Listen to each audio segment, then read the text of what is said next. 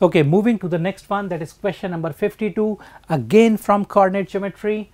Let the orthocenter and centroid of a triangle be given in this question.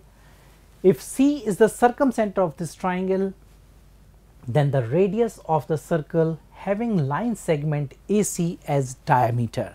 Let us try to draw this figure how they are asking for what they are asking for. So, drawing a triangle let us consider here right. Now, let us consider the three points lying on a straight line that is the centroid, orthocenter and circumcenter. Now, we know in a triangle as this one is given to me as orthocenter A, this one as centroid and this one as circumcenter.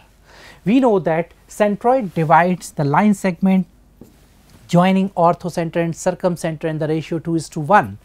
Question is talking about find the radius of the circle with diameter as AC. So, first let us find AB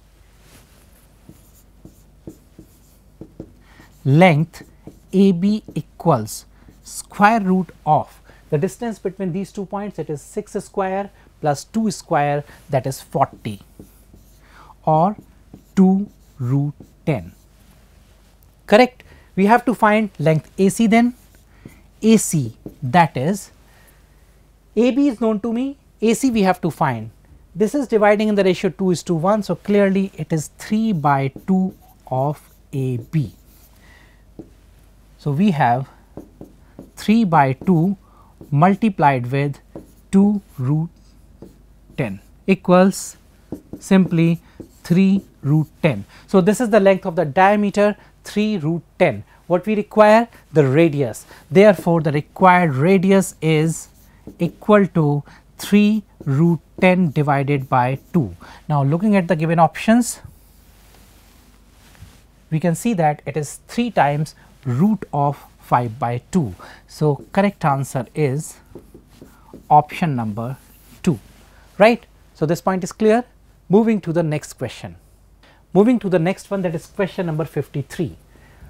S is given such that function fx is satisfied which is equal to mod x minus pi multiplied with e to the power mod x minus 1 into sine mod x is not differentiable at point t that is the set S. Then the set S is equal to a beautiful question there is a possibility that we can keep on solving by a lengthy method, but if we look at the theory part the concept part involved in this question we can see mod x minus pi. The 0 is x equals pi. E to the power mod x minus 1 the 0 is x equals 0. Now sine mod x it also has these two roots as 0 and pi. So, we can see here that x equals pi and x equals 0 these are the repeated roots these are the repeated roots means the function is clearly differentiable at these two points because these are the repeated roots. At repeated roots function becomes continuous as well as differentiable. So, clearly the required result is option 4. Right. Moving to the next question. Okay, moving to the next one a question from determinant. If determinant is given to me a plus bx into x minus a whole square then the ordered pair A comma B is equal to. A simple question if we look at the property just apply R1 replaced with R1 plus R2 plus R3 or C1 replaced with C1 plus C2 plus C3. Let us say I am going row wise like R1 is replaced with R1 plus R2 plus R3.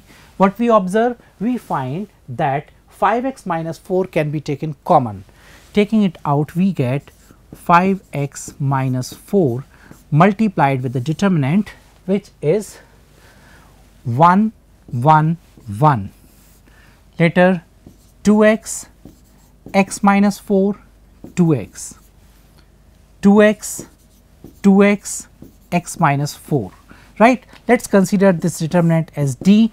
Later on we will put the right hand side of this determinant. Now further simplifying we have 5x minus 4 multiplied with determinant of. We can apply C2 minus C1 and C3 minus C1 to make two zeros in the first row. This is 1 2x 2x then minus x minus 4 0 0 minus x minus 4 right?